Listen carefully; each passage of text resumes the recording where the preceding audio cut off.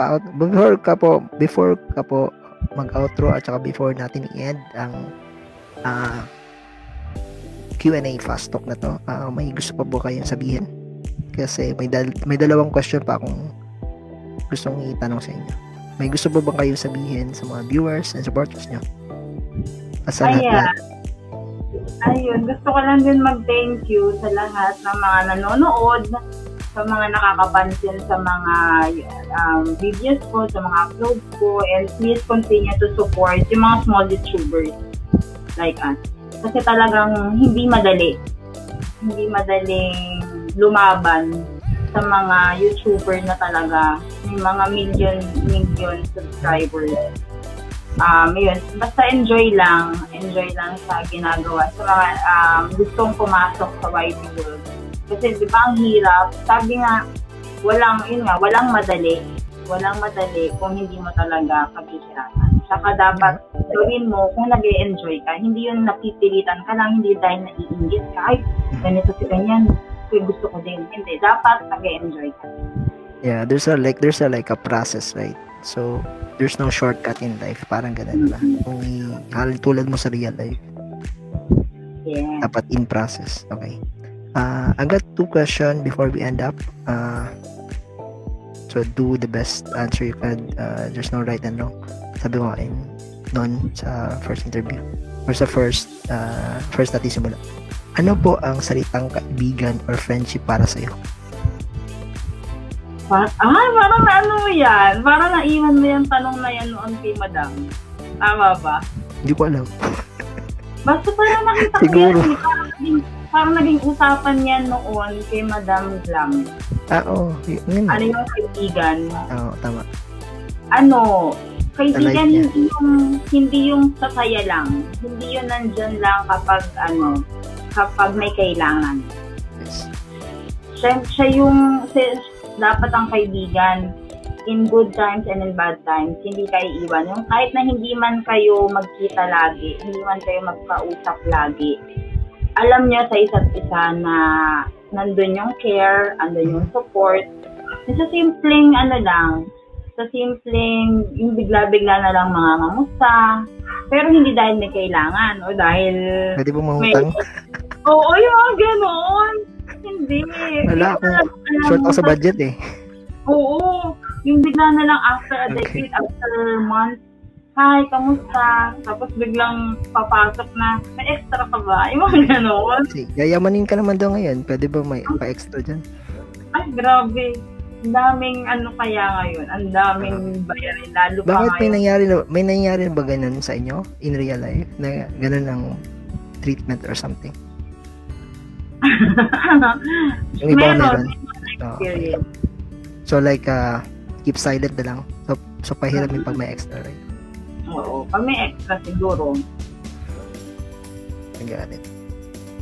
So, what if uh, I give you a situation? Like for example, a friend. Ano ang gagawin mo? Like uh, close friend mo siya. Tapos nasira yung friendship nyo kasi sa harap uh, sa harap mo, mabait siya, tapos pag nakatalikod, parang like, sinisiraan ka. So, what can you say about that? Ano, nangy sa akin sa akin na ganun, parang binabackstab, ganun? Yes.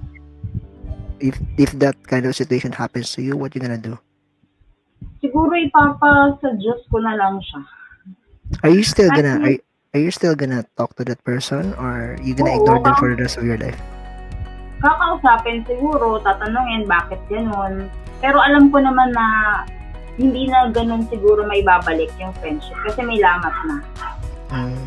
I mean, ayoko na rin siyang um, makipagkaibigan kasi alam kong plas- plastic na lang yung mangyayari. Kahit pa, kahit pa mag-sorry siya, kahit pa, hindi, um, parang, parang ang sorry na lang kasi ngayon, napakadaling sabihin eh. Mm-hmm. Diba? Kahit tapos o, pwede mo pa rin maulit-ulit na mm-hmm. sabihin mong sorry, hindi ko na ulitin. Hindi malabong mga mangyari yan. Sa, mm-hmm. sa mga mag-asawa nga, di ba? Yung mga cheating-cheating. Ano, parang ganon. O, kakausapin ko siya, itindihin ko ba't may ginawa yun. Pero hindi na 100% yung trust ko sa kanya. So like 60, 70%? Something like Mm, mga ganun na. Hindi na talaga 100. Mhm.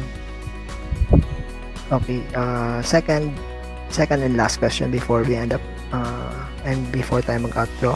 Ikaw at ako. How do you interact? Jealousy, angry, and humors. Tatlo. Yes. sa ano tayo sa jealousy? Ano? Paano? Medyo mahirap ba yung tanong? Sorry ah. paano ko paano ko i-handle parang ganon Yes. How do you handle it if you're in a situation of jealousy? so yun nga tulad na nabanggit ko kasi medyo hindi na parang na-overcome ko na yan eh yung pag yung pag, pagsaselo Mm. parang na ano ko na yan parang na mature na ako dyan sa ganyan. Siguro sa amin ni boyfriend ano tatanungin ko lang sino to? Yan. Pero pag ano yan um, pag sinabi niyang yun kaibigan ganyan ganyan okay. Tapos um, pag nakikita ko naman na hindi naman talaga madalas niyang nakakausap or ano, edi, ano na, forget na, parang, basta may tiwala naman ako sa kanya, na, at the end of the day, tumingin ka man sa iba, makipag-usap ka man sa iba, basta, sa akin ka. Parang So, gano'n. so both vice versa, trust, loyalty, and faithfulness are there. from Oo. Both of you. Sa Kasi angriness naman po. Ah, ang may sasabihin pa kayo sa jealousy? Sorry. Hindi, hindi, wala na, wala. Okay na. Sa angriness naman po. Iyak. Dinadaan ko sa iyak. Pag sobrang naiinis ako. Mm, parang doon ko nilalabas yung inis ko. Ayoko nang, ay hindi man ako kasi yung ano eh, yung magdadabog, yung talagang makikita mo sa akin na, na, war, war shock. War shock. oo, hindi, iniiyak ko Okay. pag ako na lang mag-isa. Tapos pinagdadasal ko, ayun, hanggang sa kinabukasan, makifeel kong medyo okay na. ako. Oo, isang araw lang yan then. It's done. Mm-mm. Oo. Okay. Humors. pag alam mo namang hindi totoo, dead man. 'Di ba? Ba- magpapakapraning ka ba sa ah, um, yung sa akin na halimbawa may naririnig akong mga chinichismis sa mga tao diyan, eh kiber, anong pakay ko sa kanila? Ako naman yung ah, nakakaalam ng totoo at yung mga tao nagtitiwala sa akin, alam nilang alam nila yung tama at mali. So you're Kaya- gonna so you're gonna investigate and uh do the do the checking on both side of the story. Sig- pag sa akin, kung alam ko namang mali yung inaano nila, wala na akong pakil. Pero kung sa ibang tao, halimbawa sa mga kaibigan ko, Mhm. um, yun, siguro mag-ano ko, magtatanong ako. At ang una kong kakausapin, syempre yung friend ko, kung ano bang tunay. Bago Kung sino yung involved, right? Oo. Hindi, hindi basta-basta maniniwala. At saka, kasi sabi nga, kahit ano namang gawin mo, kahit gumawa ka ng tama o mali, may, meron at merong masasabing hindi maganda ang ibang tao. That's a real talk. That's true. Yes. Di I ba? don't know. Kahit ano, gumawa ka ng mabuti, ng masama, I don't know why why is people is like that. I don't know why. If we do something right or if we do something wrong di or if, ba? we- Meron if we do something right, may may mga tao talaga na I don't know, hindi masaya para sa kanila or something. I don't know. Yun nga, siguro ano, because, hindi, siguro eh, talaga, parang yun na yung ano nila, humanap ng, humanap ng mali sa isang tao. Oh. Ayaw, kumbaga parang ayaw nila na ah, umangat, parang ganun. Minsan, di ba may ganun, umaangat ka na, mag, nagiging maayos ka na, tapos may biglang mga ta mga tao na ipupush ka pababa. So, we just need to ignore them and think positive along the way. So, makikilala mo yung mga tunay na kaibigan na magstay Yun, sa'yo at tama. hindi kasiraan. Oo, tama. sa mga ganang sitwasyon. Okay. Uh, that's my last question.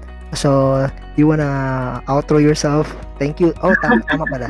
Thank you so much for Thank you, thank you. to interview you. At saka sa busy mo na schedule uh, At na ano natin, na-push natin ito. is fifth uh, fast uh, Q&A with Sir Nicodelis. Thank you po. Salamat. Teka. Po, Ayan. thank you po. Ayun. Thank you so much. Bawa, bababa ka na ba or may sasabihin ka pa sa view- viewers? Ayun lang, siguro keep supporting po sa mga you- small YouTubers like us. And laban lang sa mga darating na mga problem sa buhay. Hindi madali, pero I know God um, is always with us. Magdasal, lalo sa panahon ngayon, pandemic, di ba? Um, ang daming nade-depress dahil sa mga nangyayari. Pero magdasal, magdasal. Yun lagi. Dasal. Dahil, Sana, sana ma-end na, no? Sana ma-end na yung, ano, I think it's Sobra. almost a year na, Sobra. two years na. Mm Saka ang daming may gusto na, mga students, mga students namin, gustong gusto nang bumalik sa school. Kasi ibang-iba talaga yung nasa school ka, nakikita mo yung classmates mo, yung teacher mo, kaysa dito lang sa computer. Iba. Iba yung Oo. learning. Tama, tama. Mas mas maganda yung interaction between friends and between classmates than in like sa nakatunga ka lang sa computer. Mas mag-guide mo talaga sila kapag kasama mo sila. Saka iba yung bonding mo with the students. Okay. Yan. Salamat. Sige, sige, sige. Salamat. Sige, mauna ka mag-outro tapos ako mag-outro next. Thank you. Thank you so much, ha. Salamat. Sir Nicodelis. Salamat. Thank you so much. Bye-bye. And uh, thank you po sa lahat-lahat ng mga viewers and supporters ni Sharnico Diaries. And uh, this is uh, Humble Vlogger po. Nasasabing be good unto others and the goodness will always come back unto you. Peace. Diba?